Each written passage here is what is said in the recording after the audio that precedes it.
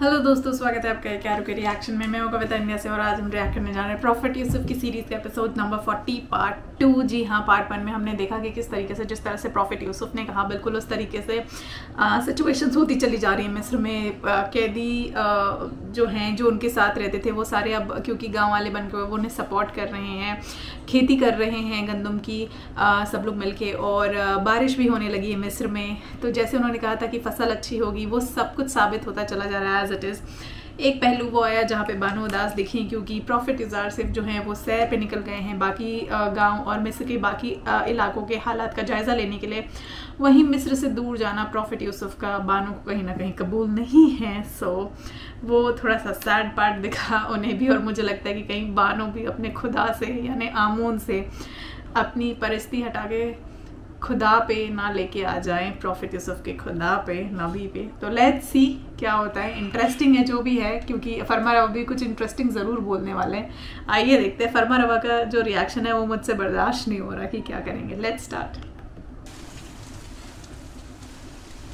यूजारसीफ की ये पेशगोई भी सच साबित हुई। मुझे इसके पूरा होने में बिल्कुल शक न था। ये बारिश, यानी सात साल फरावानी रहमत का आगाज़ हो गया है।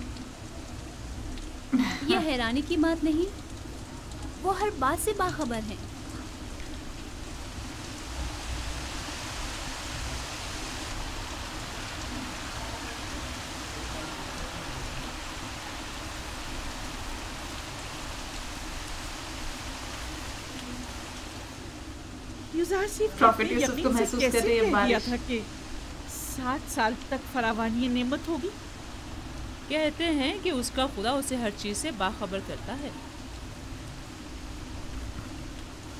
तो फिर हमारे खुदा हमें कुछ क्यों नहीं बताते? क्यों वो कभी कोई पेशेंट गोई नहीं करते?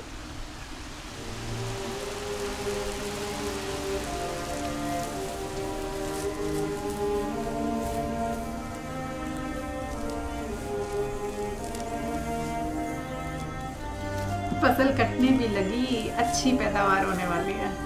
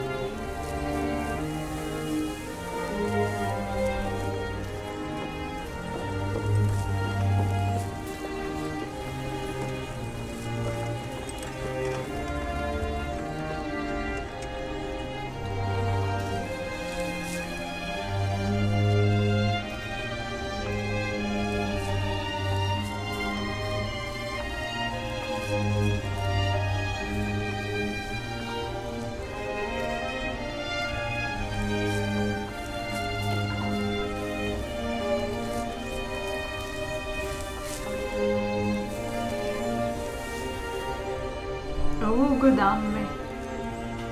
नाइस अच्छा स्टोरेज होने वाला है ये।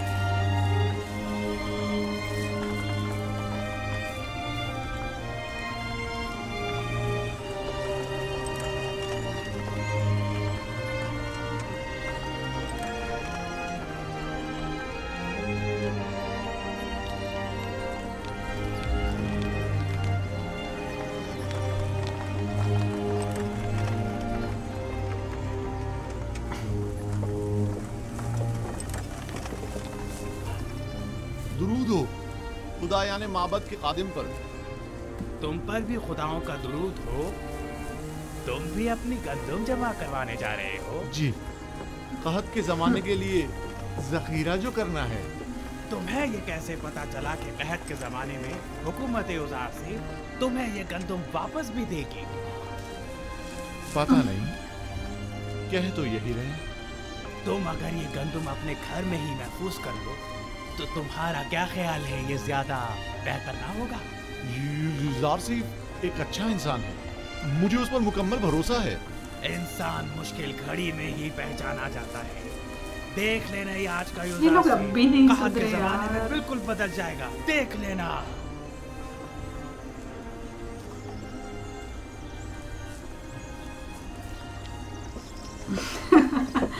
सही है सुन के चल जाओ आगे। करना तो वही है जो प्रॉफिट यूसुफ ने बोला।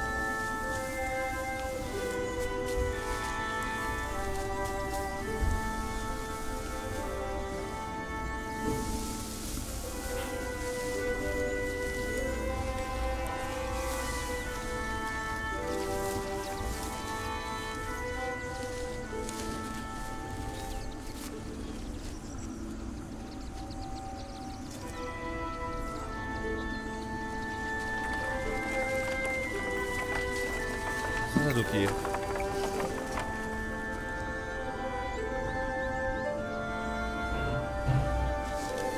जब तक आप बाकी खेतों का जायजा लेकर आए मैं यहाँ हूँ।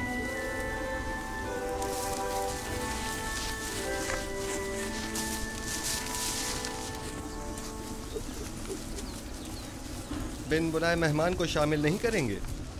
खुश आमदीद हमें खुशी होगी। खुदावंद का दरूद हो आप पर। सिपास गुजार हूँ। इस साल तो फ़सल खूब हुई होगी। इतनी कि मैंने अपनी पूरी उम्र में नहीं देखी होगी हत्ता कि मेरे बुज़ुर्गों ने भी इतनी फ़सल नहीं देखी होगी। इतनी ज़्यादा है। जो भी मेहनत और कोशिश करता है उसे उसका फल ज़रूर मिलता है। फ़सल काटते जा रहे हैं पर खत्म होने को नहीं आ रही। ये तो हर काश्तकार की ख्वाहिश होती है कि उसकी फ़सल ज़्यादा से ज़्यादा हो। कहते हैं कि अज़ीज़ मिस्र दुआ करता है और उसका खुदा ज़मीनों को बराबर करता है। मुझे भी यकीन है कि ये सब युजार सिर्फ़ के खुदा ही की लुत्फ व इनायात हैं।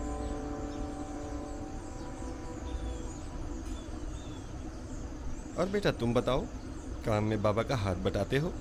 जी जिन खुशियों से बाबा गंदम अलग करते हैं उन्हें मैं और मेरी बहन जमा करके लाते हैं। आफरीन आफरीन बेटा आइंदा खानदान के सरबराह तुम होगे। तुम्हें अपने बाबा का हाथ बटाना भी चाहिए। आपने तो कुछ भी नहीं खाया। बस यही काफ़ी है। सिपास गुजार हूँ। खुदावंद आपकी हिफाजत फरमाए। खुदावंद आपको सलामत रखे। कौन था? नाम तो हमने पूछा ही नहीं।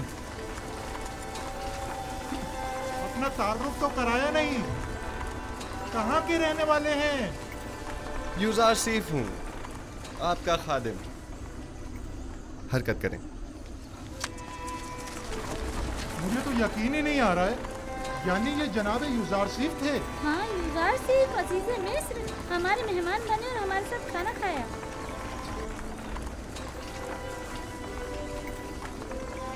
खुदाओं की हिफाजत में रहे युजार सिफ।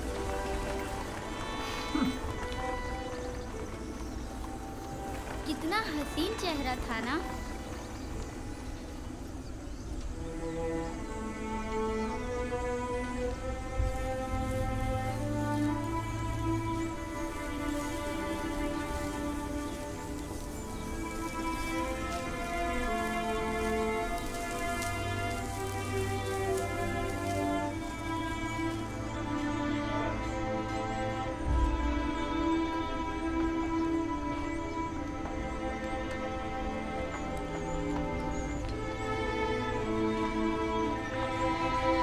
साहब ऐसा लग रहा है जैसे आज के ज़माने का बना हुआ इंफ्रास्ट्रक्चर और कमाल है। ज़बरदस्त खेती हुई है।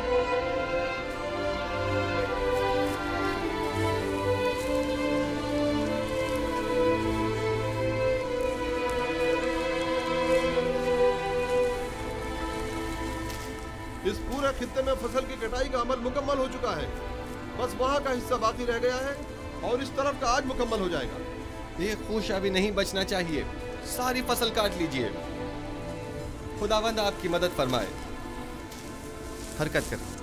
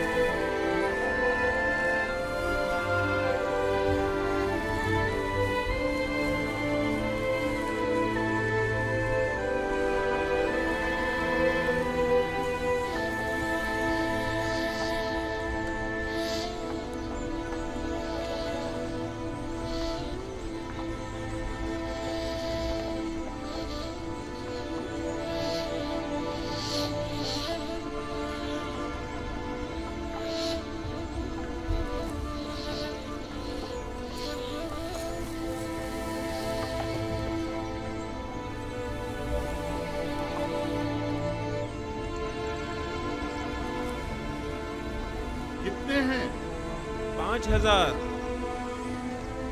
एक बात बताएँ आप अपनी जमीनों पर काम करते हैं या फर्मा रवा की जमीनों पर? फर्मा रवा की जमीनों पर। अब तक गंदम की तहवील के हवाले से लोगों का क्या रद्द रद्दमल रहा है?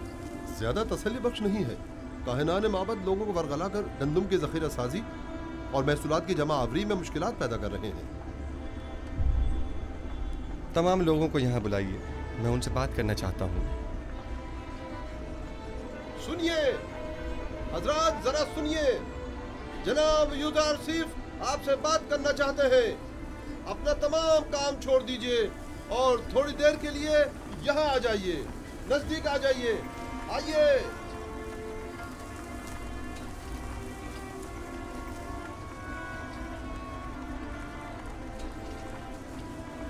मुझे बताया गया है कि काहिना ने माबद लोगों को उनकी गंदम हुकूमती गोदामों में जमा करवाने से मना कर रहे हैं। ठीक है, मेरे ख्याल में कोई हर्ज नहीं। हर शख्स अपनी गंदम का खुद मालिक व मुख्तार है और उसे अपने पास महफूज रखने का हक रखता है।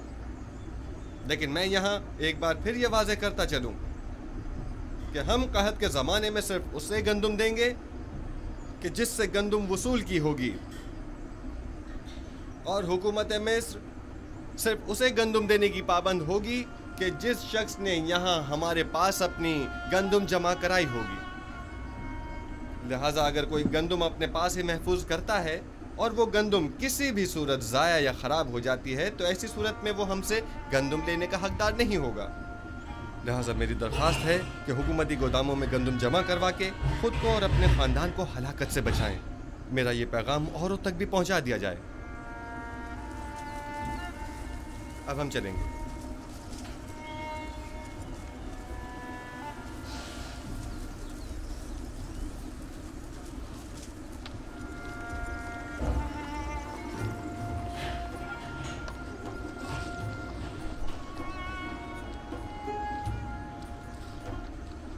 मेरी गंदुम यहाँ महफूज हो तो मैं तो ज़्यादा मुतमिन हूँ। मुझे भी यूज़र सीफ पर पूरा यकीन है।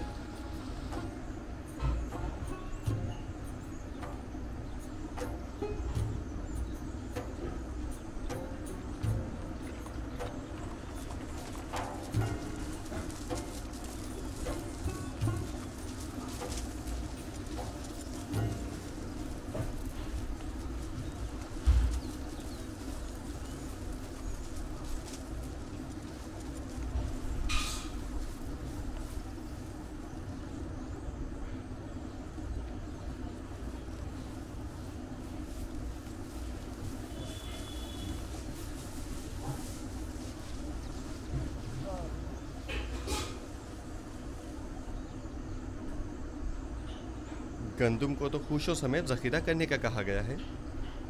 आप ये क्या कर रहे हैं? गंदुम भूसे से अलग कर रहा हूँ जो हमेशा करता हूँ। पहले की बात और थी लेकिन अब हमें कहत का सामना है। भाई मुझे तो यकीन नहीं है। ये सब कुछ तो सिर्फ़ युजार सिर्फ़ का कहना है। और अगर कहत पड़ गया तो? मुझे तो यकीन है कि ना पहले कभी पढ़ा है और ना पढ़ेगा। बिलफर्ज अगर पढ़ ही गया तो? आपके पास तो कोई जखीरा भी नहीं होगा फिर कहत का सामना कैसे करेंगे? ऐसी सूरत में हम हुकूमत से गंदम खरीद लेंगे। लेकिन जहाँ तक मेरे इल्म में है गंदम से उसे दी जाएगी जिसने पहले से अपनी गंदम सरकारी गोदामों में जमा कराई होगी और कहत के ज़माने के लिए पहले से जखीरा अंदोजी की होगी। जब देखेंगे कि कहत आने वाला है तो हम भी जखीरा कर लेंगे। लेकिन अगर कहत शुरू हो गया तो जखीरा साजी मुमकिन नहीं रहेगी। जखीरा तो वही होता है जो पहले से जमा किया जाए। अगर आसमान बुखील हो गया तो बारिश का एक कतरा भी नहीं बरसेगा और ऐसे में गंदम का एक दाना भी नहीं उग सकेगा। आप तो इतने यकीन से ऐसे कह रहे हैं। गोया ज़मीन पर आप खुदाओं के नुमाइंदा हो। या फिर मुस्तकबिल की सारी बातें पहले से जानते हो? जी हाँ। मैं ज़मीन पर खुदा का भेजा हुआ एक नुमाइंदा ही हूँ। इस कहत की मिसाल रोज़ हशर की सी है। फरावानी नहमत के इन सात सालों की तरह जब तक आप आखरत की इस खेती दुनिया में हैं जो कुछ आज बोएँगे और ज़ख़ीरा करेंगे कल आखरत में वो आपके काम आएगा। लेकिन जो भी नेकी बोने और जखीरा साजी करने से गाफिल रहा तो रोज महशर उसके पास कोई तोशा भी ना होगा। कहत के लिए पहले से जखीरा साजी करें। बताए नहीं आप कौन है? यूसुफ। यूजासीफ हूँ मैं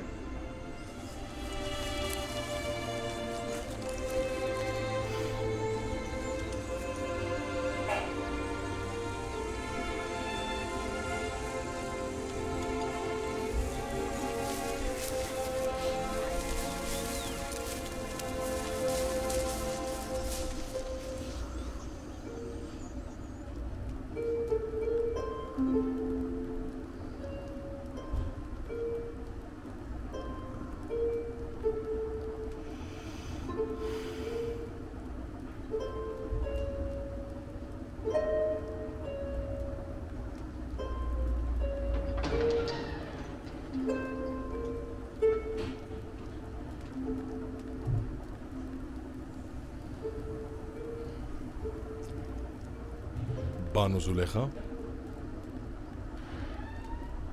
तुम हो रुदामू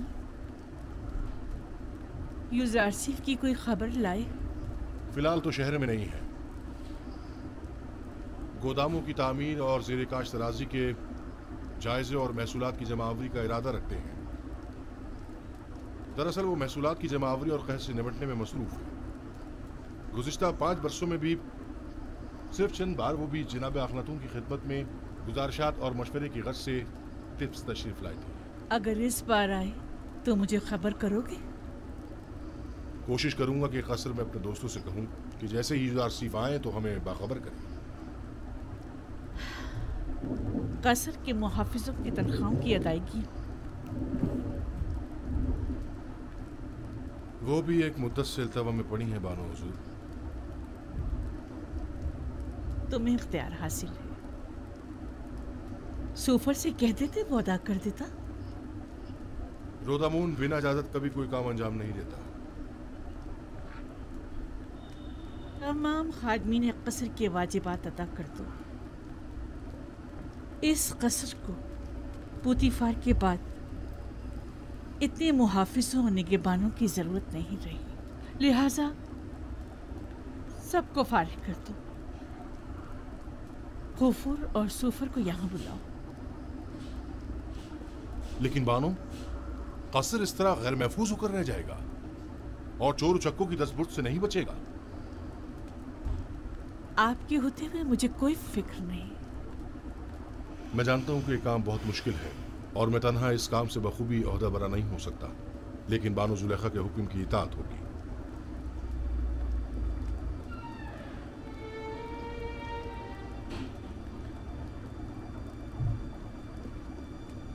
कभी ये कसर इस सरजमीन की दूसरी बड़ी शख्सियत, इज़्ज़त मिस्र, जनाब पुतिफार से मुतालिक हुआ करता था। लेकिन अब क्या? अब एक शिकस्त, खुर्दा और मफलूकुल हाल बेवा से मुतालिक है कि जैसे ना इस कसर से कोई दिलचस्पी रही और ना ही इस ज़िंदगी को बाकी रखने के लिए कोई उम्र बाकी रही अगर मेरे दिल में यूसारसिफ की मोहब्बत की शमा रोशन न हुई होती तो मैं अब तक खुद को ज़िंदगी की कैद से कब का आज़ाद कर चुकी होती। अब तो ऐसा लगता है जैसे मेरी ज़िंदगी में यूसारसिफ के सिवा कुछ भी नहीं रहा।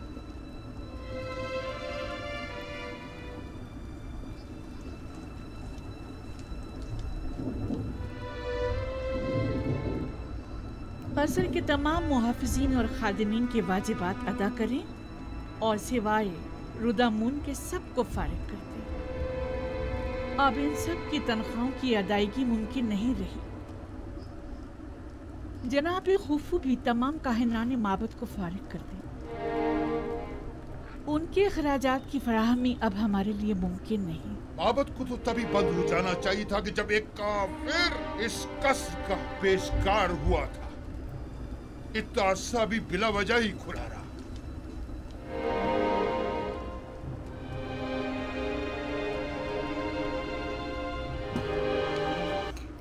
वाह तो दोस्तों देखा जैसे हमने इस एपिसोड में कि किस तरीके से प्रॉफिट यूसुफ हर छोटे छोटे कस्बे में जाके, इलाकों में जाके लोगों के साथ बात कर रहे थे, मिल रहे थे। और एक्चुअली पूरा इम्प्लीमेंटेशन प्रोसेस देख रहे थे उस ग्रीन स्टोरेज का और बीच में जो लोग भड़के हुए थे, उन लोगों को यकीन नहीं था। उनके भी साथ बात करने के बाद लोगों को कहीं ना कहीं उन पर यकीन आ गया था और हर कोई, जैसे हम बात करते हैं वो प्रॉफिट यूसुफ की एक नज़र का दीवाना था। और जैसे ही वो बात करके जा रहे थे और वो दीवाने होते जाते हैं। तो this is the best quality of a leader कि आप सिर्फ़ सलाह मशवरा नहीं देते हो, जबकि आप उस पूरे प्रोसेस को इम्प्लीमेंट भी कराते हो। दैट्स वॉट इंपॉर्टेंट और जो यहाँ पे प्रॉफिट यूसुफ कर रहे हैं। तो उम्मीद करती हूँ कि आपको ये पसंद आया होगा सीरीज़ एंड बाकी बहुत मज़ेदार चल रहा है। आई वॉन्ट टू सी कि जब वो सात साल बुरे वक्त शुरू होते हैं, तब किस तरीके से ये जो इन्होंने भविष्यवाणी की है, ये किस तरीके से काम आती है और तब लोगों का यकीन क्या होता है? मुझे तो लगता है तब शायद सारे लोग का यकीन आमून से हट जाएगा और वो सब खुदा की परिस्थिति करने लगेंगे। लेट्स सी वैसे आप लोगों को क्या लगता है, मेरी उर्दू थोड़ी बेटर हुई है या नहीं हुई है? तो after watching this series let me know चलिए, इसी के साथ इस एपिसोड को ख़त्म करते हैं। मैं मिलती हूँ आपसे अगले एपिसोड में, तब तक के लिए बाय